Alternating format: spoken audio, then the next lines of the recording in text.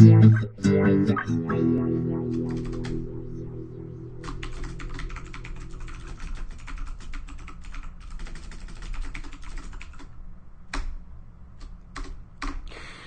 everybody, it's Dan, the Git School dude again. Today I'm going to talk about Git Bisect, which is one of the coolest things Git can do. So I'm going to try to make it pretty quick. In the first half of the video, I'm going to show you visually what's going on with Git Bisect, and then we'll move over into a terminal um, to actually give you one working example of it. So uh, I'm just going to put up some images here to introduce the, the concept of Git Bisect to you. So I'm going to use an analogy from a some movie. I can't remember the name of it. If you know the one I'm talking about, put it in the comments below because it's driving me crazy. Um, but it's basically some dumb action movie like Da Vinci Code 7 or National Treasure 8 or Bourne Again Shell. And the premise is that in this movie, of course, there is a bad guy and he's got a bomb. And this particular bad guy puts a camera on the bomb so that he can tell the police and prove that he has a bomb and request money or whatever his demands are. So, of course, they have a bunch of scenes where the police are in what looks like a mission control and they have a camera on the bomb. And so at one point, the police, they come up with this great idea, right? Said, hey, you know, this bomb is uh, somewhere in the city and because we can see the lighting around the bomb in the room because of the camera, maybe we could, you know, turn sections of the power grid on and off, and then we could know where the bomb is. Kind of a cool idea, right? So, you know, this is my representation of a power grid, and their plan is, and they execute this in the movie, it drives me crazy, that they take one section of the grid, and this black circle represents an outage of power in one section of the city one section at a time. They cut power and they try to see if the lighting in the camera view changes. Well, that sounds great if you can flip it on and off quickly, but you know, as part of their story, it takes I don't know an hour and a half to bring the grid down and up, and there's just not enough time. And so this goes out and goes on through the whole movie, and it drives me crazy because this is a, a terrible search strategy, uh, given the problem that that's presented to uh, to the audience, and so it drove me crazy. And I wanted to talk about it because this is a perfect analogy for Git Bisect. So when I say git Bisect, what we're talking about is a binary search. So in this example, you might think, you know, if, if one of these guys had half a brain, he'd say, hey, instead of doing one of these uh, grid uh, sections of the power grid at a time, why don't we turn off half of them and then see if we see a response in the window. Um, that way you can eliminate large sections of the grid all at a time. So in this example, we're turning off half the grid, the left side, visually represented, of course, and nothing happens. So, oh, and then we do the right half of the grid and we see the view change. So in this example here, we're doing a binary search, and we've already eliminated the left half of all the grids, and the bomb cannot be contained anywhere in that grid.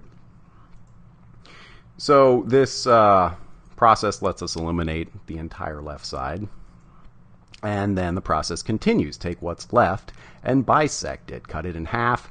Uh, so you basically you turn off the power to all these grid sections, and we don't see the the lighting change. So we turn off the other half and the lighting changes. And as you might expect, we can then eliminate this section.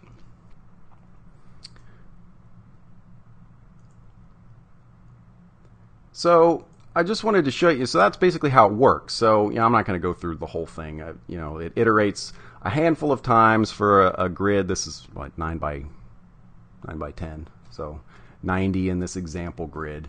Um, and eventually you end up with the exact grid that the bomb is in. So I forget the name of this movie, but it drove me crazy watching it. Um, so why did I bring this up? Well, this power grid is very similar to uh, this example is very similar to what Git Bisect does. So the the process that we just did is called a binary search, and as you can see, it's way faster than a linear search of all individual sections of the grid. So the search range in this example is the whole grid. I bring this up because we define a search range later.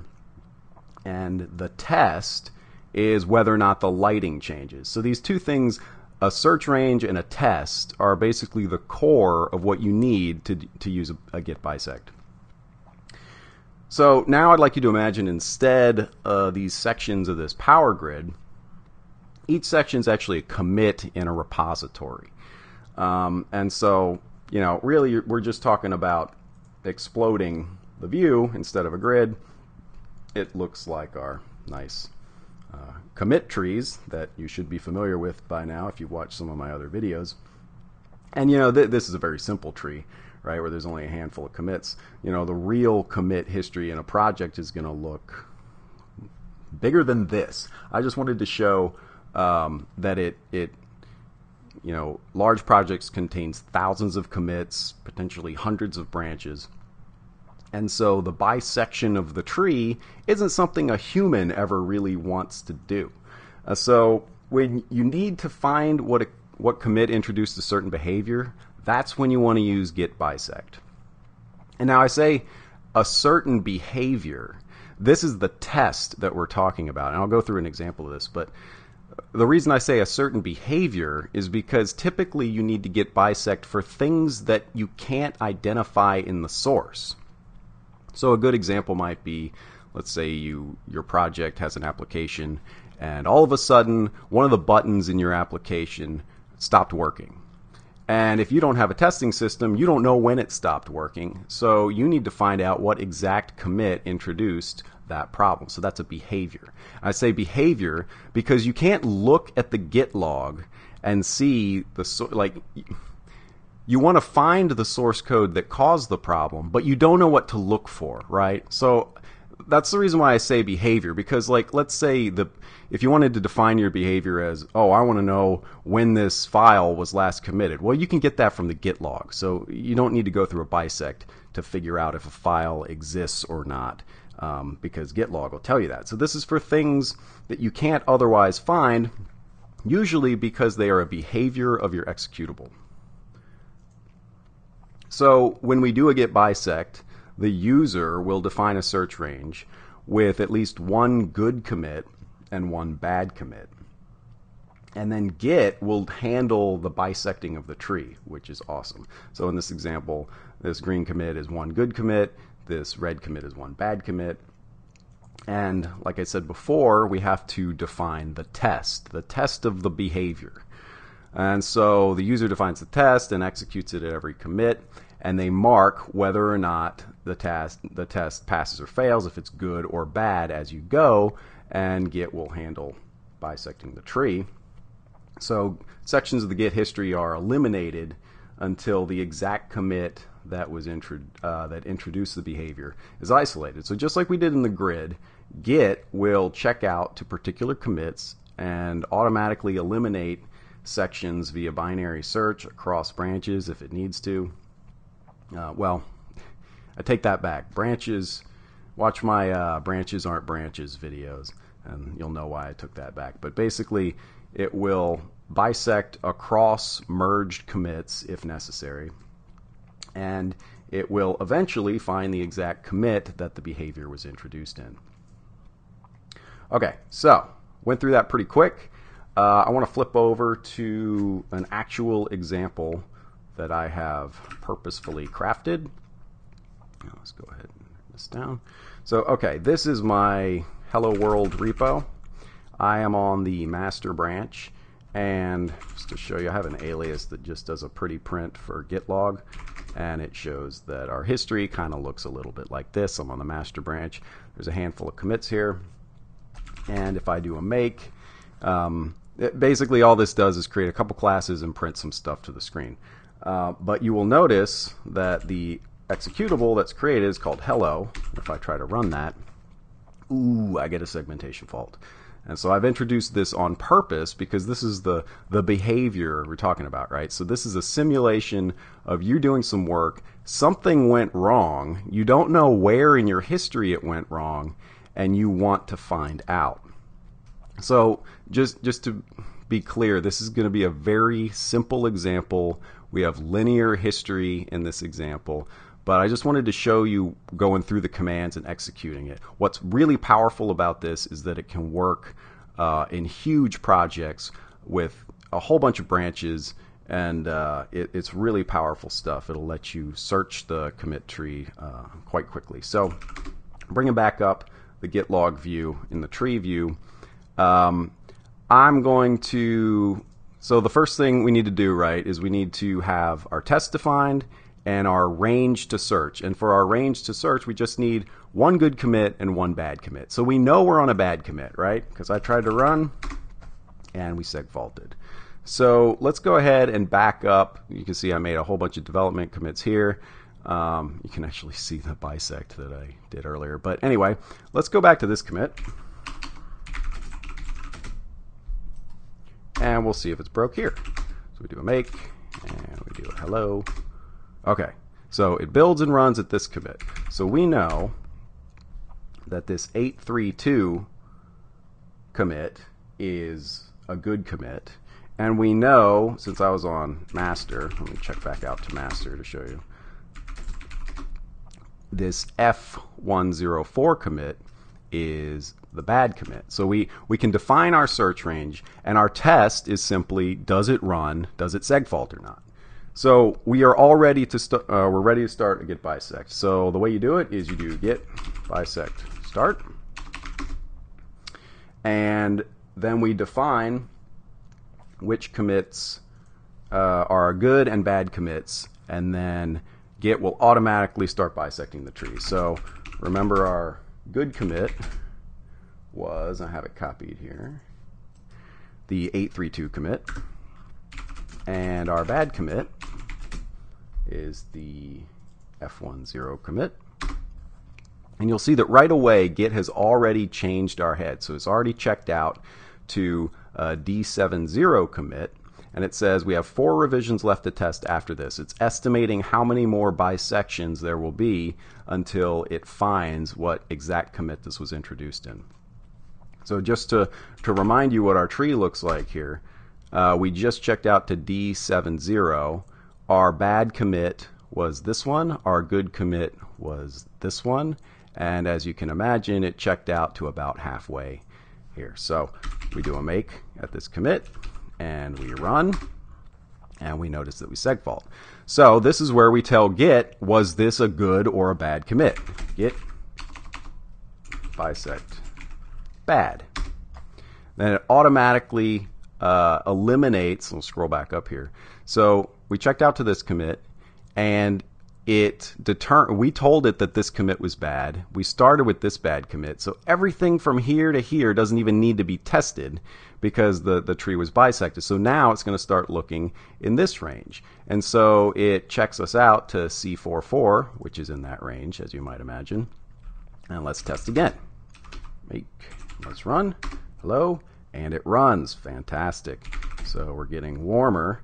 So what we do is we say git bisect good because uh, we did not segfault. Okay, now it's telling us our message again. Zero revisions left. This is the last step. We're going to test 2FFB. It either introduced it or it didn't. Hello? And this one is good. So when we type git bisect good on our last revision, Git bisect will print the exact commit that introduced the problem. So it's the D70E commit. Now, if we do a git show on this, we'll see what the problem was. And I know exactly where to look because I introduced this on purpose. Uh, we introduced the dereference of a null pointer, which causes the seg fault in D70E. So it leaves us uh, checked out to where we were. So I'm just going to check back out to master. Um, and it was, let's see, D70E. So going back to the view we had before, we know that this is the bad commit. So something was introduced here. Okay, guys, uh, kind of ran through that pretty quickly. I hope it's useful. I just want to say one more thing about um, how you design your repo and your testing architecture so that git bisect can be useful. So c- consider this. In fact, I actually went through this originally and found that so there's a reason why these commits I didn't include in the bisect. That's because there's a handful of commits that, you know, this is a repo I just uh, make to show you guys things. There's some commits in here that don't build. So if you haven't thought of this already, you might understand it could be difficult to git bisect the history if large sections of your history don't build. I mean, how can I tell if it's seg faults if it doesn't build, right? So th- this sort of is a broader discussion that I'll probably talk about in another video about um, testing density. The idea of testing density is how many of your commits meet a minimum testing criteria. So as an example, our minimum testing criteria here could be does this does the uh, does the executable build? Yes or no? And if I can't guarantee that every one of these executables builds at a minimum, then if I have to track down some unrelated behavior, like a like we just talked about a seg fault or why does my button not work? Well, when you bisect and you land on one of these commits that doesn't build, the first thing you got to do is fix the fact that it can't build. So it becomes a nightmare. So uh, I'm not going to get too much into it, but basically, if you can, you want every single commit in your repo to meet some type of minimum testing criteria. And you can accomplish that uh, through rebasing or a number of uh, different workflows um, that I'm not going to get into now. But just keep that in mind. Uh, if you're starting a new uh, project in Git, try to make sure that every one of your commits meets some minimum testing criteria. And for, for most projects, that'd be something like does it build? All right, guys, uh, I'm just going to summarize like I usually do. To start a git bisect, do git bisect start. And then to mark your first bad commit, you do git bisect bad, and then the commit SHA-1 of the bad commit, and then you have to give it one good commit, and you use the exact same notation. And then you're on your way, and you'll already be bisecting the tree. So then you test, and then as you test, you mark it either good or bad, rinse and repeat, and then you have the exact commit where something was introduced. All right, guys, that's it. I hope you find it useful, and I'll see you next time.